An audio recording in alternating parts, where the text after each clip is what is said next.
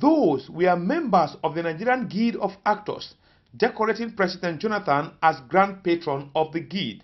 Speaking after the conferment, President Jonathan noted that the nation's home video remains the most viable means by which the image of the country is projected across the world. If myself and some of you now go to any of these African countries and we arrive at the airport, they will abandon me and be following me.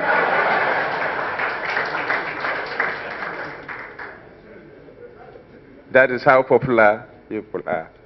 Eh, Nigeria is a leading country in Africa. And for Africa to transform, for us to say we are talking about transformation of Nigeria, transformation of Africa. And of course, in that case, we must redefine Africa. We must redefine the world. And is the Nollywood is the only industry I see that government can partner with to encourage to redefine the world. He also assured the actors that his administration will do everything within its powers to strengthen the laws against piracy.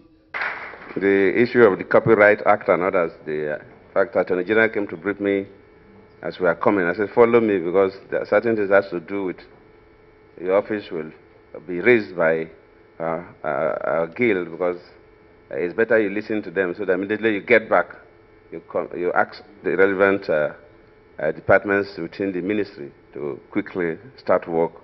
The national film policy, uh, of course, the minister have already expressed. Earlier, the president of the Guild of Actors, Ibinabo Fiberesima, lauded the president's contribution to the Actors Guild. She noted that the federal government's grant to the industry is of immense benefit. She called on the president to change the leadership of two film regulatory agencies. Your Nollywood is in dire need of purposeful, practical, dynamic, and experienced leadership at the helm of affairs of the two regulatory agencies whose function border on our industry.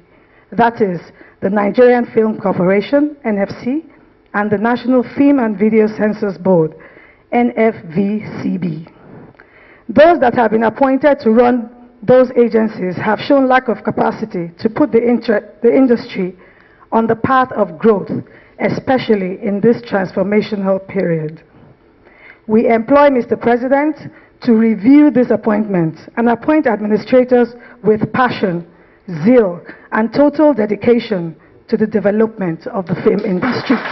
She also appealed to the president to give actors enough representation during the forthcoming national dialogue.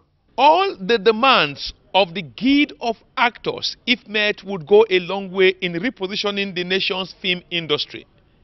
But the group that called on the president may better be referred to as a factional Guild of Actors. The Emeka Ike-led Guild of Actors is in court praying the judge to declare the Ibinabo-led Guild of Actors illegal. From the presidential villa, I am Iharo Atta, ITV News, Abuja.